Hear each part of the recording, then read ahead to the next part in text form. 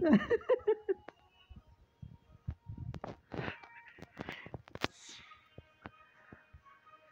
I hope you like my video and to click the like and subscribe buttons. Yeah, yeah.